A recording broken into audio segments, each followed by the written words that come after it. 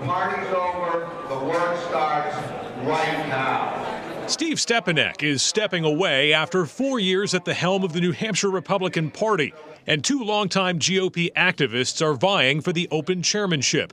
RNC committeeman Chris Ager and Seacoast businessman Lou Gargiulo. Ager says fundraising is priority number one. We want to do a step function improvement in everything we do, and that takes a lot of people coming in and helping us. So I want to triple the staff, which means we have to, to raise our fundraising game quite a bit. Gargiulo is also focused on party finances with a goal of ending the growing streak of GOP losses in federal races. And the only way you can do that is to ensure you have the right candidates with the right funding to make it happen. And to do that, in a priority of mine, will be to ensure that the party is adequately funded.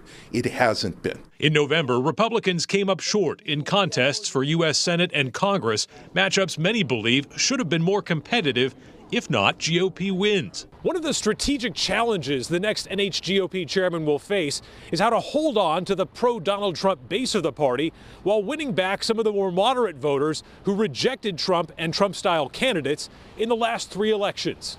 Do you still see Donald Trump as the leader of the Republican Party? At this point in time, I think that is still out for debate. I think President Trump did a phenomenal job in many areas, and I think at this point in time, the people have to decide. Donald Trump is a leader of the party, but he is not the leader of the party.